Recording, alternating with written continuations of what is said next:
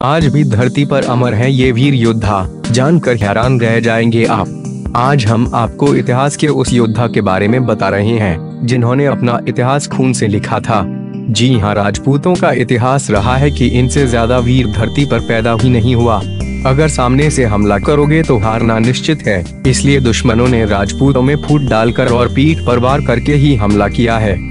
आज हम हम आपको आल्हा के बारे में बता रहे हैं। वैसे तो शायद ही कोई ऐसा शख्स होगा, जिसने आल्हा का नाम नहीं सुना होगा। चंदेल राजपूतों जन्मे आल्हा जैसी वीरता और जान पर खेलकर स्वामी की सेवा करने का जज्बा किसी में नहीं था। राजपूतों के नियमों और वीरता की मिसाल आल्हा पर बिल्कुल ठीक बैठती है। आल्हा और रूदल दोनों भाइयों ने सच्चा राजपूत क्या होता है और उसे क्या करना चाहिए, ये बताया है। भारत में शायद ही इन दोनों भाइयों की टक्कर का कोई योद्धा हो सकता है। महोबा जो आज के समय में एक सामान्य सी जगह है, वो कभी चंदेलों की राजधानी हुआ करती थी। राजा परमाल देव चंदेल खानदान के आखिरी राजा थे।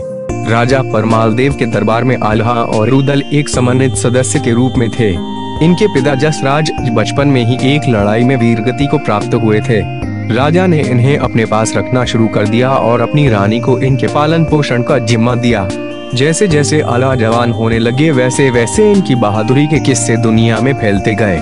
इन्होंने महोबा को अपनी वीरता से एक अलग पहचान दिलवाई। दोनों भाई राजा परमाल देव पर अपनी जान छिड़कते थे और हमेशा उनकी सुरक्षा के लिए तैयार रहते थे। दोनों भाइयों ने अपनी वीरता से आसपास के सभी राज्यों को अपने अधीन कर लिया। था धीरे धीरे महोबा की सीमाएँ बढ़ने लगी और राज्य बड़ा हो गया। उस जमाने में तलवारों के बल पर सभी काम होते थे।